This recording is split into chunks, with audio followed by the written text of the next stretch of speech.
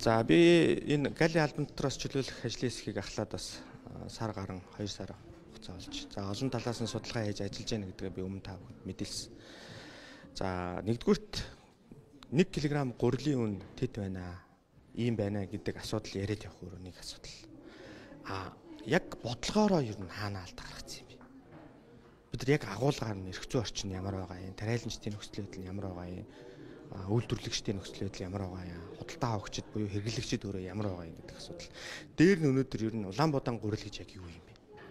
Ямар гурилыг бид нар сайн гурил гэж хэлье гэдэг агуулга дээр бид нар ажиллах хэрэгтэй. Жишээлбэл өнөөдөр сайн гурил гэж ямар гурилыг хийх вэ? За жишээлбэл бууз хийвэл одоо улан цоордгоо, жигнүртэй наалддгоо, амархан ивэлдэг, цавуулаг сайтай гэж одоо хариу болох бах тийм ээ.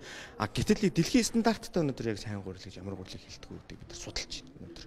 Хүний эрүүл мэндэд өөрөө ямар гурилын сайн байх хэрэгтэй гэдэг асуудлаар судалж байна. Дээрээс нь одоо баяжуулсан хүнсний хууль гэдэг 2017 18 онд батлагдсан хууль гэдэг.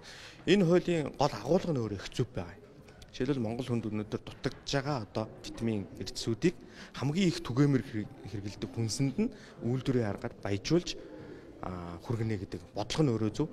А гэтэл өнөөдөр бидэд буцаад энэ зөв бодлогыг буруу хэлбэрээр ашиглаж байгаа нөхцөл байдал байна уу гэдэг дээрээс олон талаас нь судалж үзэж байна. За эх 7 хоногт хилцүүлэг хийхээр төлөвлөж байна. Тариаланчтай хилцүүлэг энэ өглөөний уулзалтыг бас үйлдвэрлэгчтэй гурилан бүтээгдэхүүн үйлдвэрлэгч за мөн иргэдтэй одоо бас хэрэглэгчтэй саналуудыг сонсч за ер нь дүгнэлт гарах бол нэлээд ойрхон төгсөж байгаа.